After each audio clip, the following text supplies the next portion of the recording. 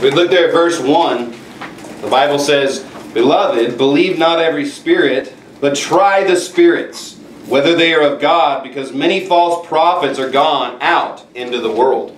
The title of my sermon tonight is Try the Spirits. It's a phrase found here in verse 1. I think it's an interesting phrase, and it's something that's very important as the believer, as the Christian. As you sitting in the, this room today, this is a, a command for you to try the spirits. This isn't for somebody else. This isn't for the just the pastor or just the deacon or some scholar or some theologian. This is for you. This is a command to you to try the spirits. So we're going to take a look at this phrase tonight and see what does that mean? What does it mean to try the spirits? How can I try the spirits? I looked up in the dictionary the word try, and the, the, the dictionary said the word try means to subject someone to trial. Now that sounds pretty serious. I mean, you're really putting this guy to task, putting somebody to trial. That's very serious in America. I mean, if you put somebody on trial, today there was a very famous trial. A guy by the name of James Comey, he's being interviewed about a lot of weird stuff that goes in our government. They're trying this guy. They're trying the testimony of his mouth. There's nothing wrong about this or perverse in this. There's nothing that the Bible says is wrong to try things or to try people. But sometimes people today, they get so nervous. They, they think, well, we're not supposed to test anybody or try anybody. They usually go on the guise of, judge not, judge not. But you know, the word try, it used the word trial there. I looked up the word trial in the dictionary too. It says a formal examination of evidence before a judge. So there's a person that's actually giving judgment. He's called a judge. We have them all across this country. Judges. They look at the evidence, they make a conclusion. I even looked up the word judge because I think even that word sometimes eludes people's minds. The dictionary says a judge is to form an opinion or a conclusion about something. To make a decision. How foolish would it be to say we're never supposed to make decisions? We're never make, supposed to make any conclusions. Right. We're never supposed to decide anything, have any opinions. I mean, to say you're not supposed to judge doesn't even make any sense. Right. Just even make that statement, you made a judgment, you made a conclusion, you decided something. So it's self-contradictory to say you can't even judge. But look to, go to Ecclesiastes chapter 12 if you would. I saw another definition of the word judge is to form an opinion about through careful weighing of evidence and testing of premises. So now in all these definitions, it's kind of saying like we should take this seriously. We should look at evidence, not opinion, not something that's subjective, not what do I think, what do I feel, what do I feel. No, facts. The evidence. What is the reality?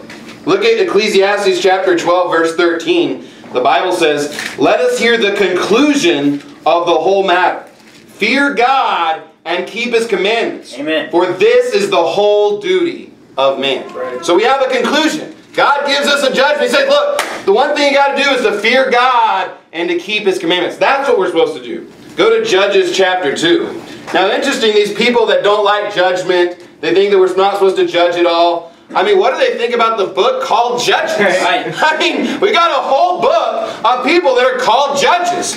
And the Bible makes it clear that God rose up the judges to deliver the people. They weren't something negative. They weren't something bad. They were a deliverer. They were someone to help the people. Look at Judges 2, verse, uh, look at verse 16. The Bible says, Nevertheless, the Lord raised up judges, which delivered them out of the hand of those that spoiled them. Judgment is a good thing. Righteous judgment is something that will deliver people from yeah. evil, deliver people from the bad, from the wicked, right. from the murderers, from the whoremongers, from the sorcerers, from those that want to hurt you and corrupt you, the pedophiles, the adulterers. I mean, all these people that are trying to hurt people today. Judgment is what keeps people safe. Right. It's not having no laws. It's not being an anarchist. Mm-hmm. No, we need righteous judgments to keep us safe from wicked people. Look at verse 19. Go down a few verses. It says, And when it came to pass, when the judge was dead, that they returned and corrupted themselves more than their fathers, and following other gods to serve them, and to bow down unto them. They cease not from their own doings, nor from their stubborn way. We see when the judge goes, when the judge is dead, wickedness abounds. Hmm. I mean, they just go wholehearted in sin. You say, why is America going into sin? Because there's not enough judges in this country. There's not enough people getting up and getting mad and screaming about sin and giving the judgment from God and judging righteous judgment. And that's why sin abounds. Amen. That's why adultery abounds. That's why drinking abounds. That's why all these kind of wicked sins abound in our country because we don't have judgment. Because Right. nobody's doing any kind of judging. But we see judgment is not a bad thing. Go to John chapter 7, if you would. Go to the New Testament. I'll read for you a score of scriptures real quick. Psalms 148, 11, the Bible says, Kings of the earth and all people, princes, and all judges of the earth. There's a group of people on the earth that are supposed to judge. They're called judges. They're the rulers. Proverbs 8, 16 says, By me princes rule, and nobles, even all the judges of the earth. He's saying, look, all the judges that are in place, they're ruling by my power, by me allowing them to even judge in the first place. That's not a bad thing. The Bible says in Proverbs 31 9, this is uh, talking about Solomon. It says, it's talking to him, saying, Open thy mouth, judge righteously, and plead the cause of the poor and needy. We need people in authority to actually judge righteously for our country to be good. For the, for the poor to not be afflicted and to not go without. We need righteous judgment. That's why in John chapter 7, look at verse 24. This is Jesus speaking. He said, Judge not according to the appearance, but judge righteous judgment. Now, this doesn't say judge not, period. It says, judge not according to the appearance, but judge righteous judgment. Judgment in itself is not wicked. It's not bad. It's not something in the New Testament that Jesus repealed or changed. No. But there are certain judgments that we shouldn't do. We shouldn't just look at a person the way they're dressed, or their skin color, or their gender, or their, their ethnicity, or something, and make a judgment based on that. No, we should judge righteous judgment. We should judge based on evidence and facts of the Bible. Right. We should judge it based on what does the Bible say? What kind of judgments should I make? Righteous judgments. Go to 1 Corinthians chapter 2. But you know, a lot of people go to Matthew 7 where it says, judge not, with a comma. Doesn't say period. It says, judge not that ye be not judged. The Bible makes it clear that we shouldn't be a hypocritical judge. If I'm going out and drinking all the time, and I drink a bunch of liquor, I shouldn't just judge everybody else that drinks a bunch of liquor. Mm-hmm. That would be hypocritical. Yeah. Or even if, let's say, I'm not in the exact same sin, but let's say I'm, you know, drinking and I'm doing all this lasciviousness, I shouldn't just be judging someone for fornication or somebody that's doing some other sin. Right. I need to get my, I need to get Right. the beam out of my own eye before I judge the mote in my brother's, what the Bible says. Right. So we're not supposed to just judge people willy-nilly. We should be careful in how we judge. We should make sure that we're judging righteous judgment, what the Bible says. And we should make sure that we're not hypocritical. But look at 1 Corinthians 2, look at verse 11. The Bible says, For what man knoweth the things of man, save the spirit of man which is in him? Even so the things of God knoweth no man, but the Spirit of God.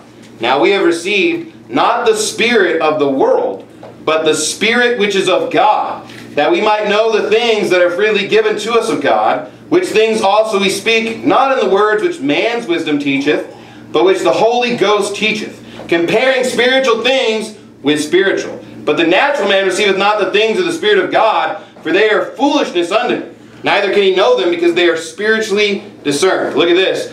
But he that is spiritual judgeth all things. Yet he himself is judged of no man. For who hath known the mind of the Lord that he may instruct him? But we have the mind of Christ. So there's a few things here. We were talking about at the beginning, trying the spirits. Look at verse 12. It says, not the spirit of the world. So there's another spirit out there. There's other spirits. They're of the world. We shouldn't have anything to do with them. We should have to do with the spirit which is of God. There's multiple spirits out there. We need to discern what's the spirit of God versus the spirit of the world. And look at 15, verse 15 says, But he that is spiritual judgeth all things. Look, the Bible's not saying not to judge. Never judge, never make any decisions, never make any opinions. No, it's just saying, look, if you're spiritual, you would judge. But you would judge it according to this book. You're not going to judge it based off yourself. He says, look at verse 16, For who hath known the mind of the Lord?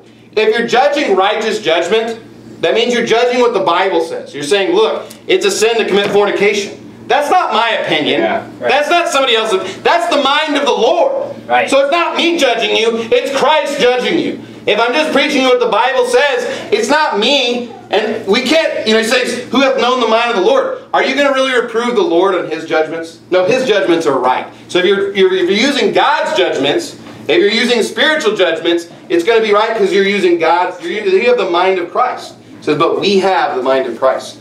Go to Isaiah chapter 65 if you would. I'm kind of trying to lay down a foundation because it's important if we know that we're supposed to try, that it's not wrong to judge. It's not wrong to make a judgment. It's not wrong to try or trial people or, or put somebody on trial or make some judgments about them. I'm trying to lay down a foundation and make it clear that the Bible says, look, there are places to judge. There is a time to make a judgment. There is a time to make an opinion. But we need to make it based on the Bible.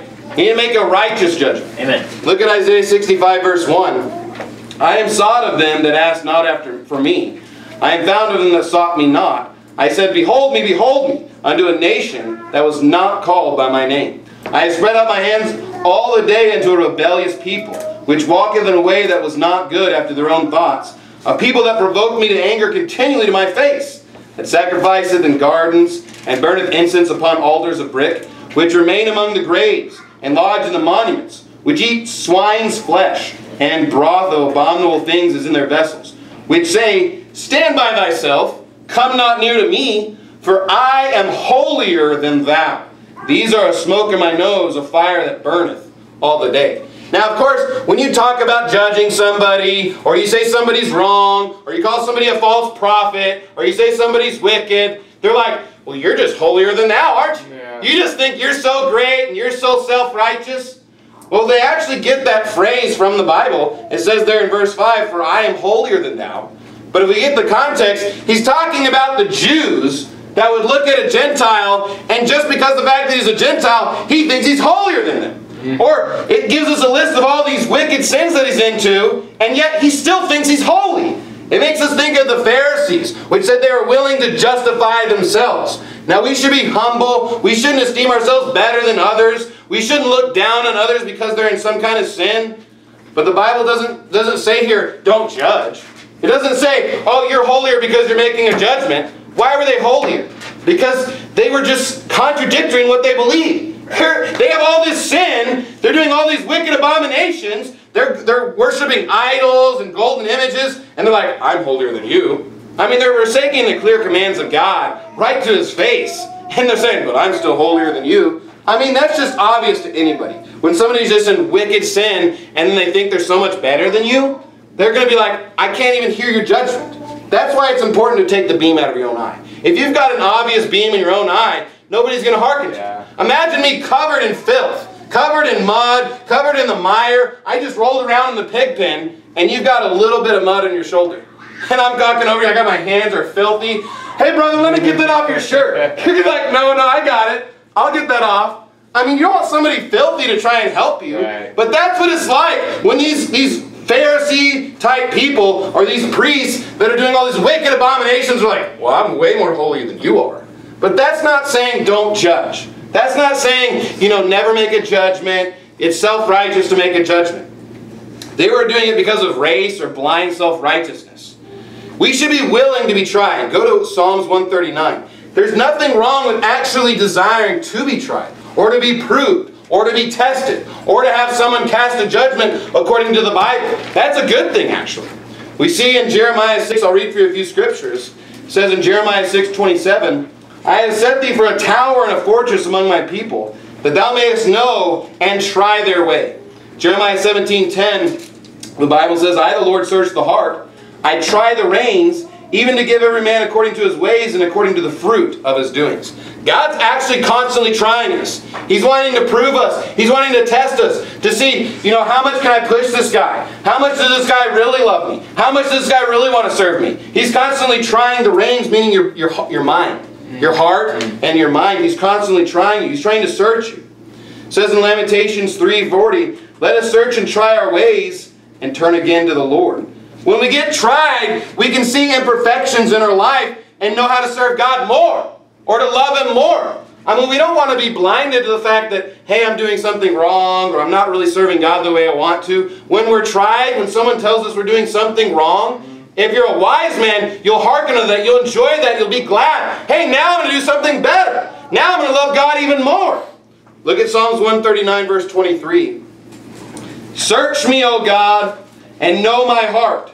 Try me and know my thoughts. It's a biblical thing to want God to try you, to want Him to prove you, I mean, you want God to think you're worthy enough to be tried or to be proven. You don't want him to look at this guy, I'm not going to try that guy. I mean, we look at Job. He said he was the most perfect man on the earth, and God still tried him. Right. Why? Because he was perfect.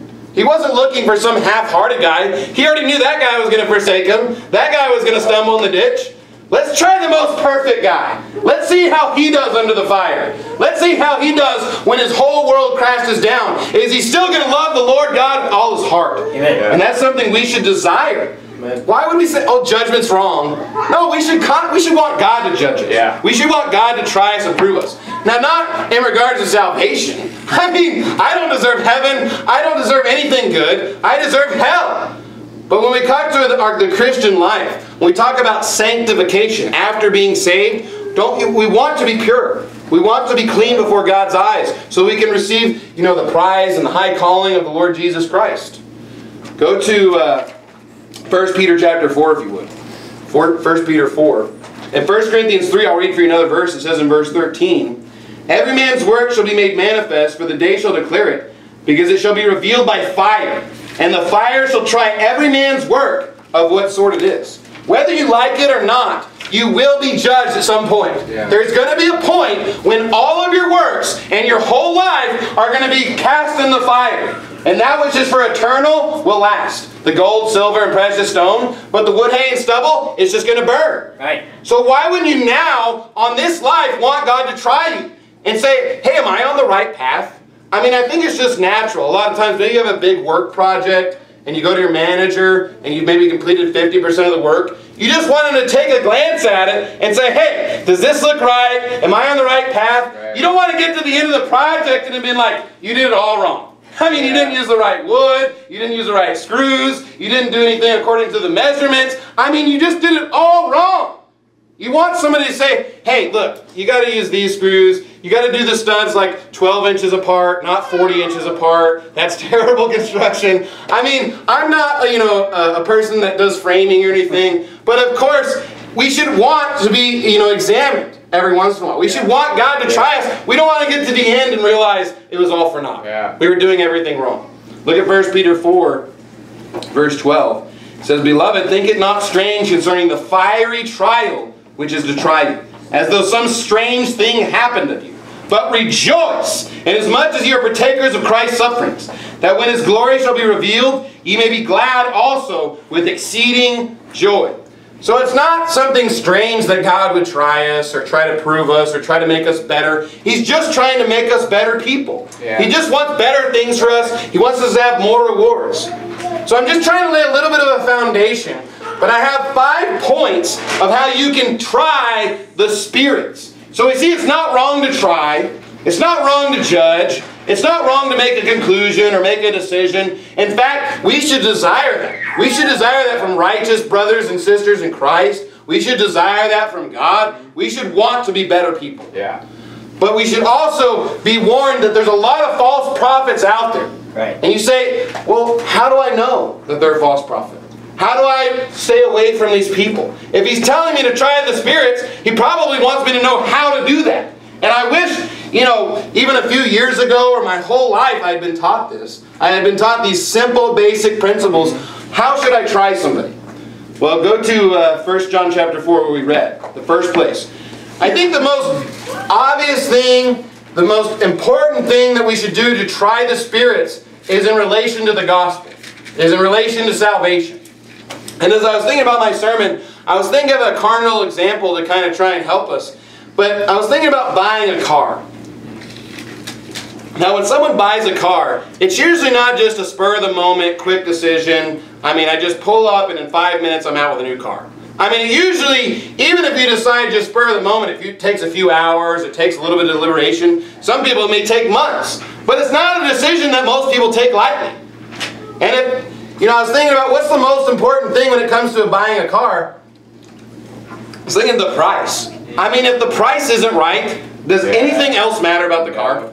I mean, if you can, if the car's a million bucks, I mean, does it matter that it's great and amazing and it, it has a V12 engine and it'll fly, you know, 120 miles an hour in three seconds? I mean, th- does it matter? No. If the price is wrong, you're just going to walk away every single time.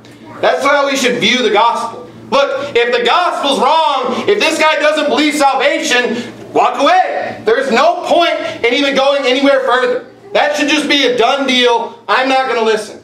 That's why we see in 1 John 4, look at verse 2.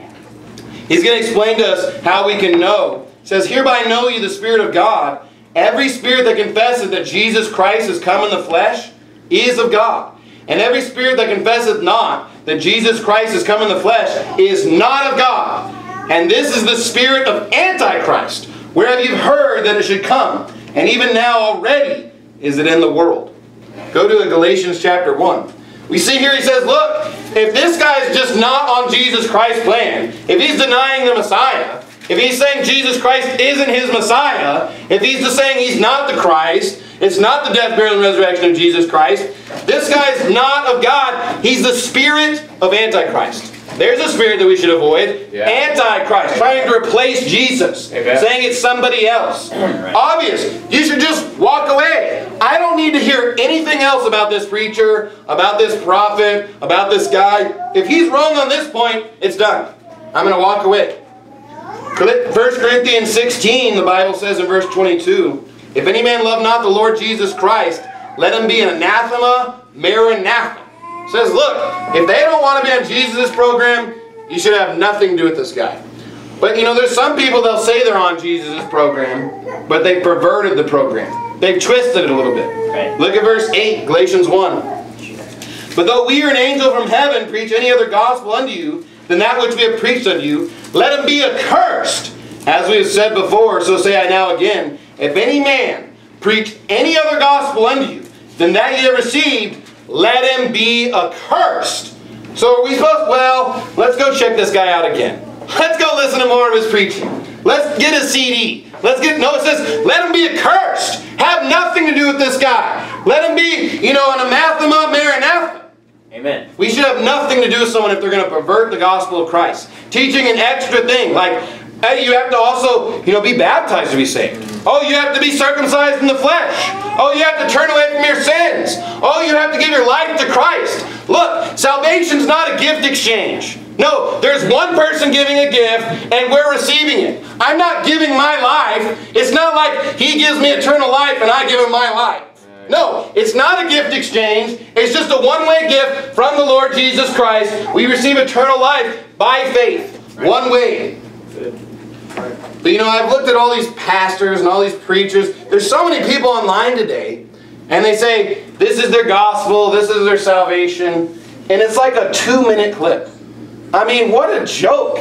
I mean, I know some of the best soul winners in the world that go to our church.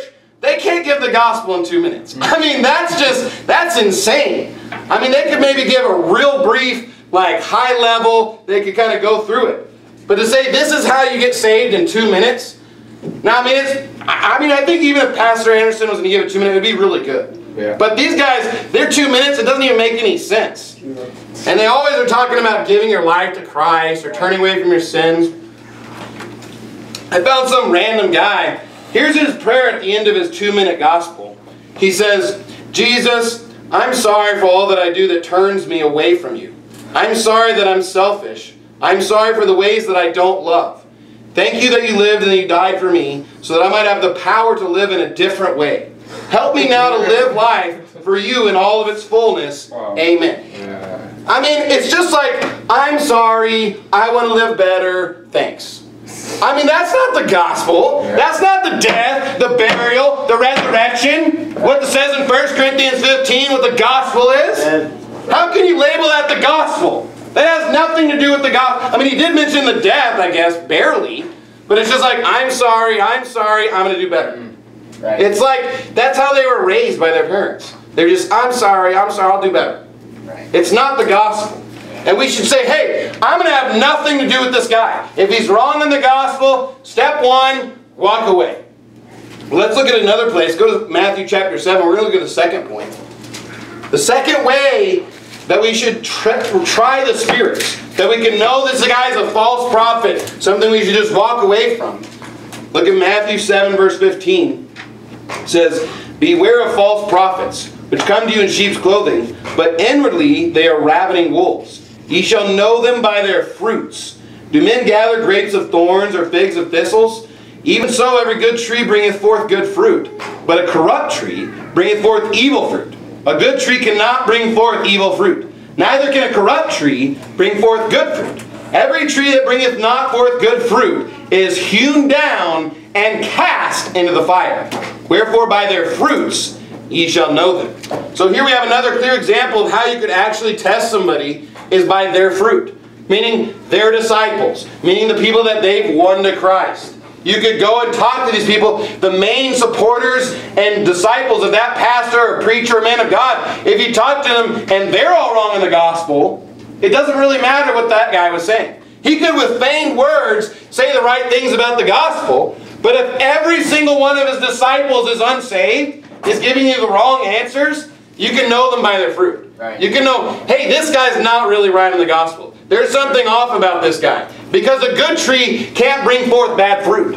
I mean, an apple tree can't bring forth bananas. It can't bring forth a porcupine. I mean, it can't bring something strange. It can only bring forth apples. The same way, a good tree, someone that actually believes on the Lord Jesus Christ, believes the gospel, he's not going to teach somebody the wrong salvation. He's not going to, oops, repent of your sins. Oops, no, you got to live a good life. Oops, you can lose your salvation. The same way as with the unsaved guy. He's not going to accidentally preach salvation by faith. He's not going to accidentally get the guy saved. So we can know by their fruits. And I was thinking about our car example. This would be like if you really liked a certain car or truck, and you know a couple people that own it, just talking to those people. Saying, hey, is this a good car? And when every single one of them is like, it's terrible, it's awful, don't buy this car. Are you going to believe the advertisement on the television? Are you going to believe the televangelist that says, oh, it's just by faith? Even though every single testimony of these people is unsaved, all their testimony about this car is just like, don't buy this car. I mean, it's just an obvious thing that we can tell by the fruit of something whether it's good or bad.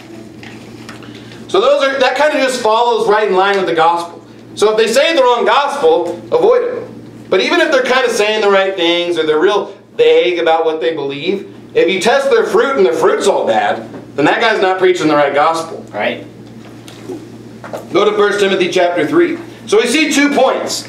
Now, I think there's still a lot of guys that it would be really difficult because they're real vague in how they give their gospel or they say things out of both sides of their mouth.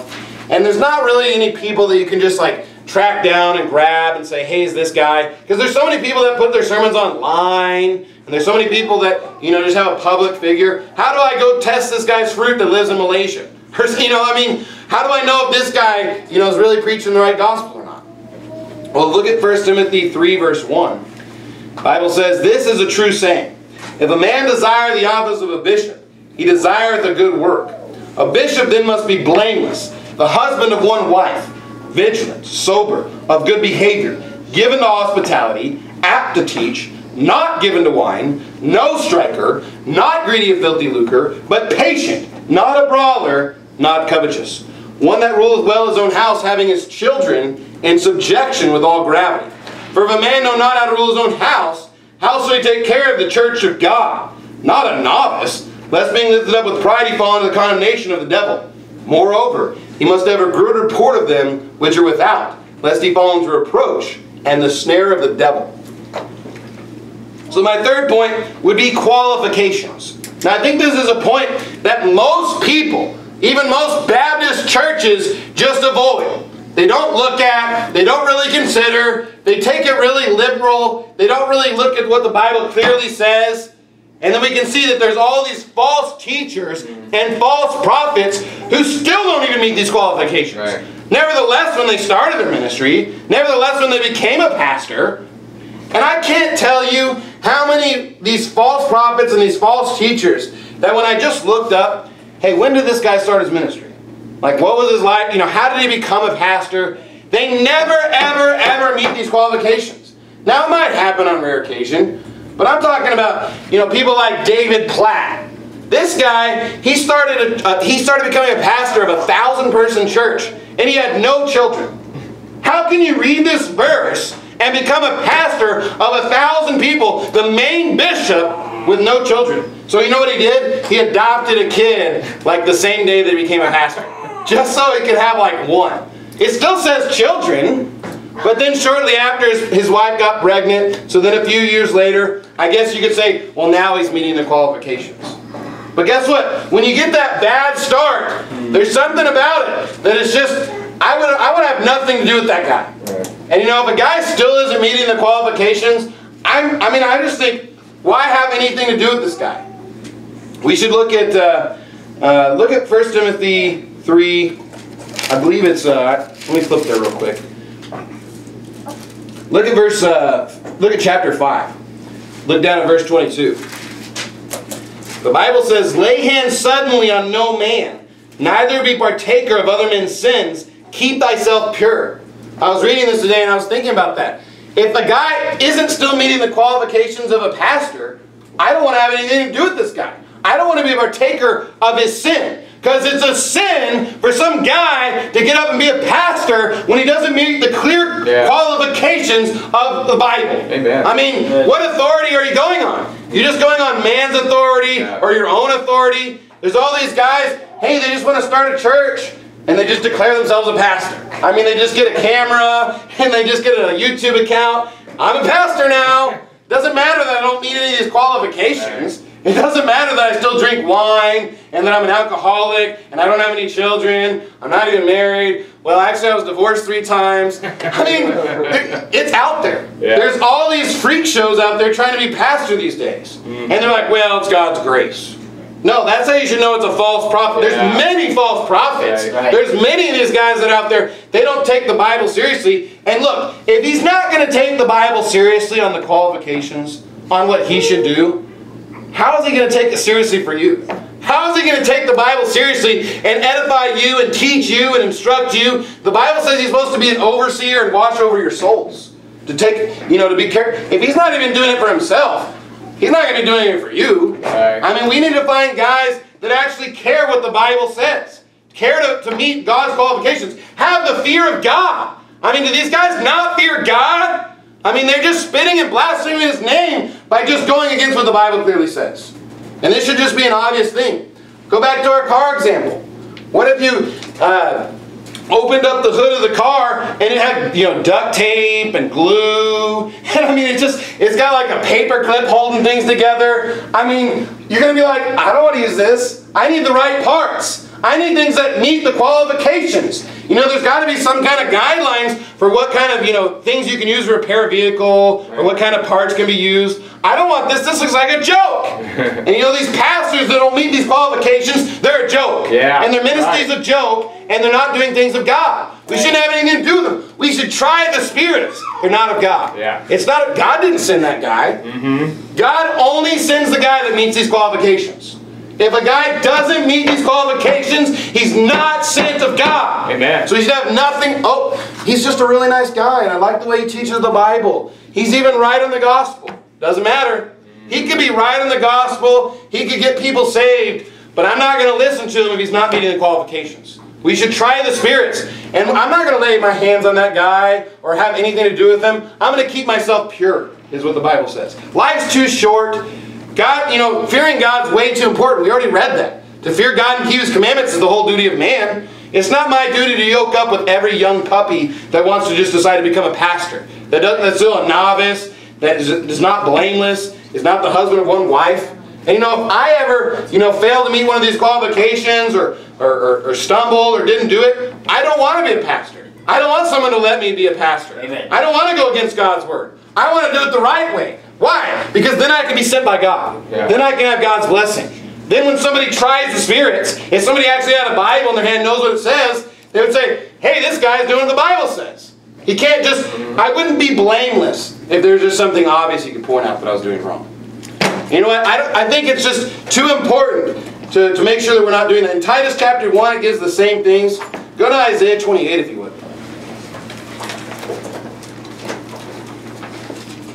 Titus 1, it says, If any be blameless, the husband of one wife, having faithful children, not accused of riot or unruly.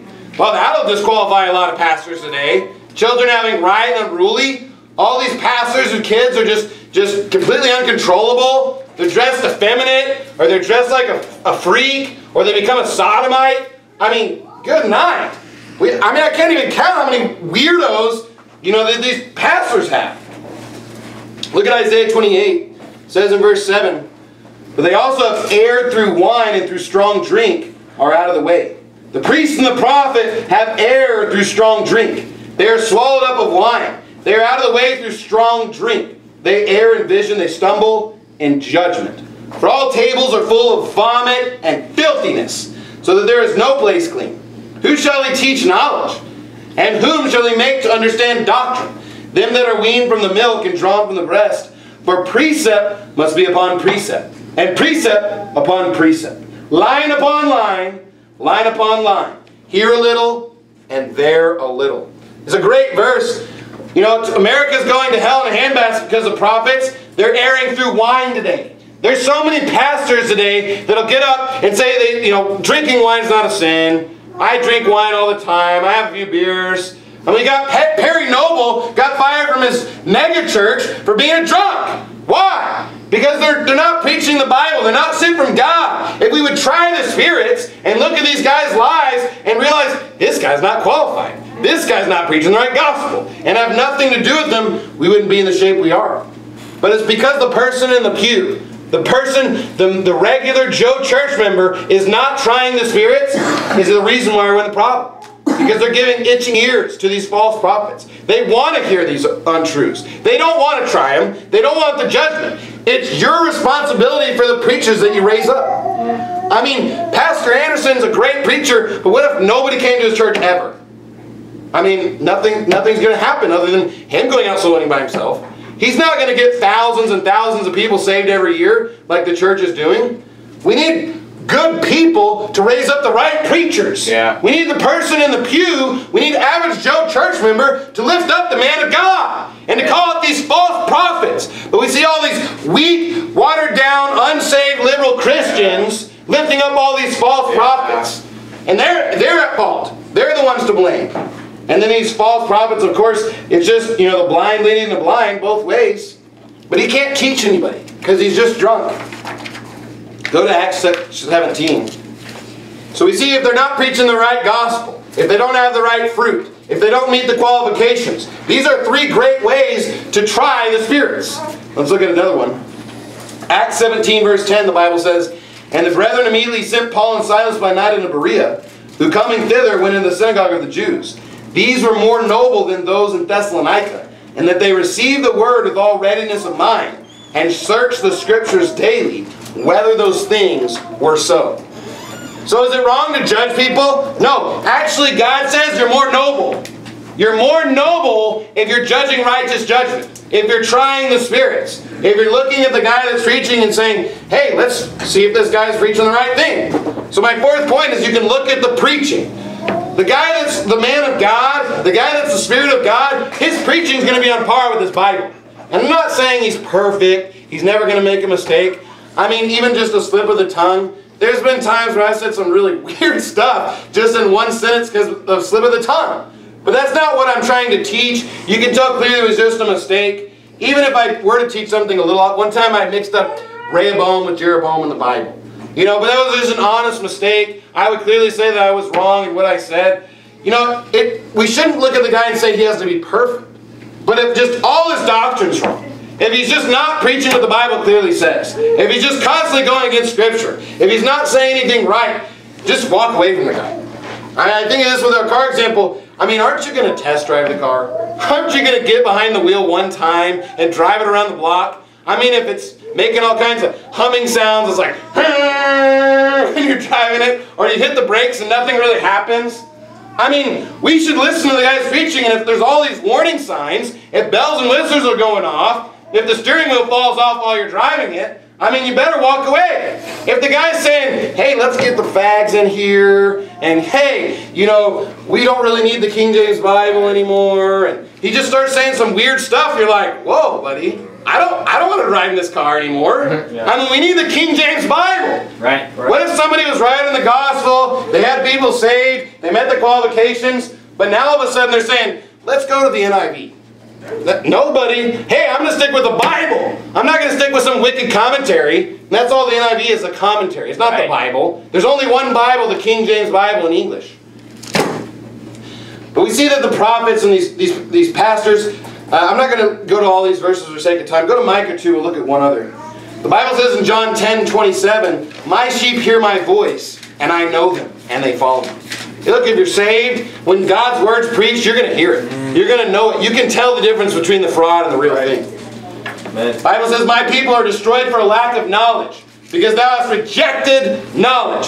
Why are the people not having the, the good preachers? Because they just rejected it. Because Yeah. they just walked away from it. Because they don't want it. It's your responsibility to try the spirits. It's a command of God for you to try the pastors, to try the evangelists, to try the deacons.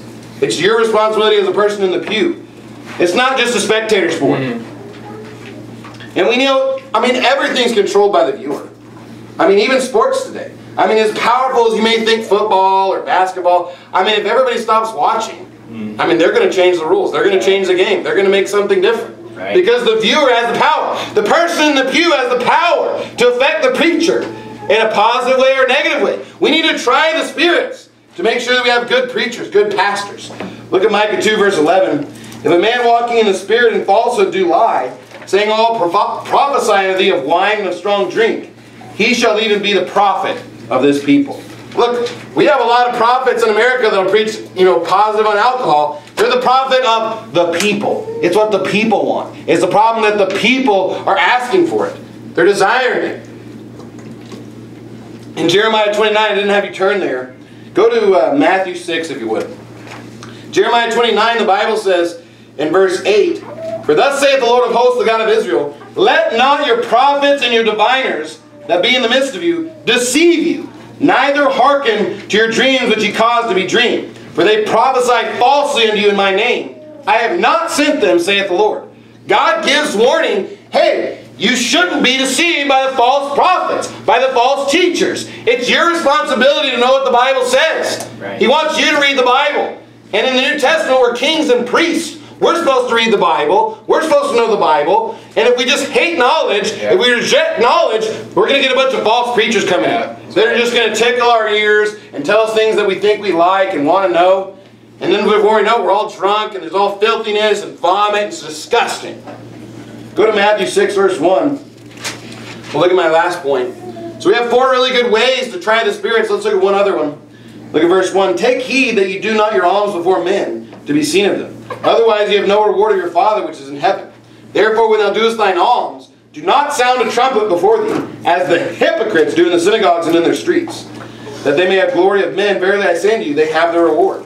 Skip down to verse 5. And when thou prayest, thou shalt not be as the hypocrites are, for they love to pray standing in the synagogues and in the corners of the streets, that they may be seen of men. Verily I say unto you, they have their reward.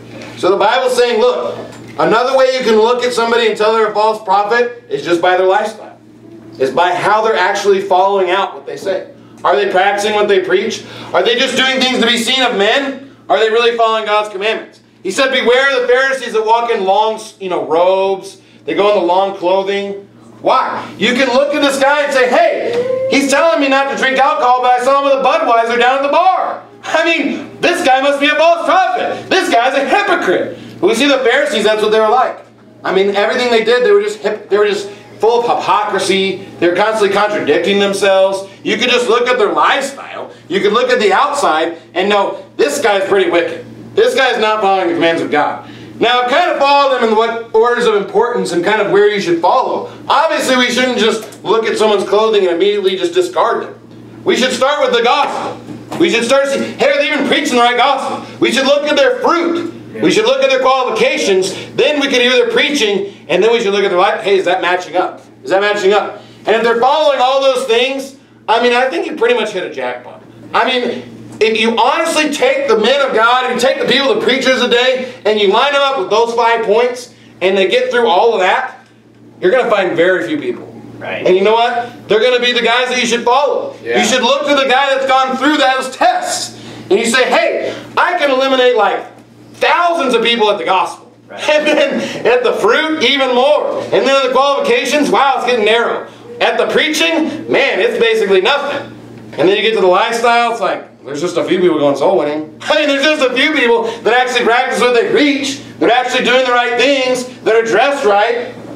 I mean, it just should be something that we, we really consider. Because you say, oh, it's so hard. There's all these pastors, there's all these prophets. How do I know the right ones? It's actually really easy when you follow God's rules, right. when you do what He said. It's just immediately, I, I wish I had known this. Because I had all these false prophets and I was looking, I was like, I don't really know. I'm not really sure. He says some good things. If I just applied these five rules, Yeah. I would have eliminated the guy like that. I would have just known, hey, this is what we should. And we should want to be proved. The Bible says in 1 Thessalonians 5, prove all things. Hold fast to that which is good. And even, you know, in the- the car example with the lifestyle, we should put eyes on the car. I mean, I think a lot of people get weary of buying something on the internet that they never saw a picture of, that they never really looked at, they never really put. I mean, what if it's just like the, the default icon from the dealership, but it's not the actual car? I mean, you're putting a lot of trust. I mean, why don't you just put some eyes on it? I mean, put some eyes on the pastor, on the preacher, on the man of God. Hey, is this somebody I should be following? But I was thinking about a case example. What if you actually took somebody and applied it to this, this principle? What if we took Sam Gipp and applied him to these five rules? Right. What about the gospel? I mean, the guy says that Jesus Christ is not his Messiah. Right. We already read it in 1 John chapter 4. Should have been strike one, you're done. Right. That's not a three strikes and you're out. That's one strike and bye. Wow. I'm going to have nothing to do with it. Right. But there's so many Baptist churches, they let him go through the first base. They let him go through the gospel. They let him attack Jesus Christ as being the Messiah. What about his fruit? What fruit? That's, that's a better question. What is this guy? I mean, he has no disciples. He has nobody who's won. Where's the guy that he can point to that he's won to Christ? You can't find it. So I guess maybe we could say we'll give him a, a pass. Even though to me, if you have no fruit and you're a constant preacher, that's a bad sign. Mm-hmm. That's not a guy. I mean, I'm going to be really nervous about that guy. What about the qualifications? I mean, what if they just looked at the qualifications? Now, it's interesting about this guy. I tried to find, like, let's look at this guy's history. Let's find, where did this guy come from? What's going on? He has this ministry called the, uh, A Friend to Churches Ministry. And you go on the About section, it says that he's been a pastor, and that he's been an evangelist, and now he just has this ministry, he's just traveling. It's real vague. And I was like, okay, surely I've got to find some more history. I mean, I must have gone to a dozen websites, all kinds of places, constantly looking, nothing. So I was like, okay, let's get a picture of this guy's family. There's no indication this guy has any children at all. Mm-hmm. I mean, I looked at thousands of websites, looked at all kinds of images. I mean, how does this guy have no children and he was a pastor? And maybe he does, and I'm just ignorant of the fact. But I'm pretty sure if you had a family and you've been a pastor and there's just absolutely no pictures of you with your family anywhere, no description of you saying you have any children, nothing, there's probably a logical conclusion. I'm going to make the judgment he has no children. This guy's not meeting the qualifications of a pastor. He's not meeting the qualifications of a deacon. He calls himself an evangelist. But he doesn't go out and preach the gospel. He goes and travels around to churches. That's not an evangelist. Mm-hmm. He's not going to some foreign country and bringing the gospel. He's not following. I mean, here's the thing. If it's not in the Bible as an office of God, it's not an office of God. It's real clear. It's just like there's this big ministry called Acts 29. Look, that's not in the Bible. And guess what? Their whole ministry is unbiblical. It's as biblical as Acts 29. It's not in the Bible. And this guy, what he does, it's not in the Bible. He has no gospel. He has no fruit. He's not meeting any qualifications of any office that the Bible even describes. He might call himself an evangelist. What about his preaching?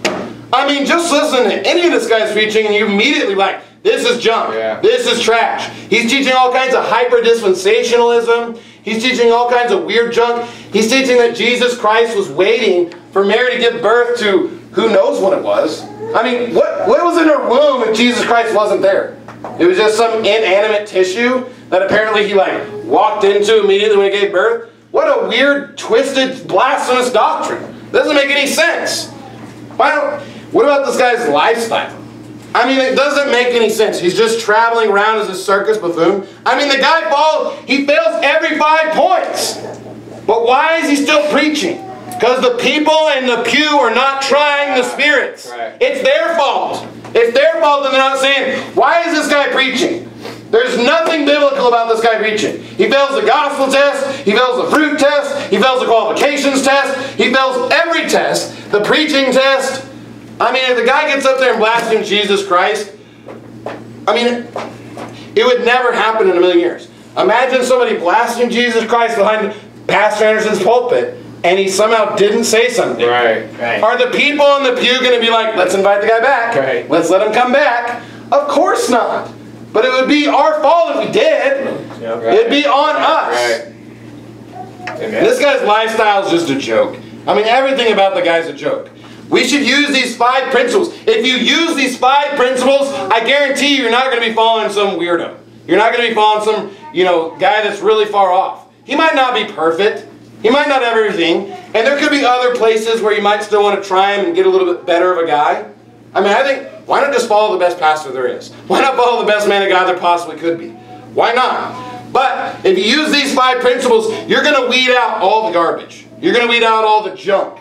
And it's our responsibility as believers, as Christians, to just test these guys, to test the man of God, to test the guy that's preaching you. Hey, is this even making sense? Is this lining up with what Scripture says? Because it's a command of God for you to try the spirits. Let's close in prayer. Thank you, God, so much for giving us clear guidelines and clear instruction that we can not be deceived by false prophets, that we can avoid the false prophets.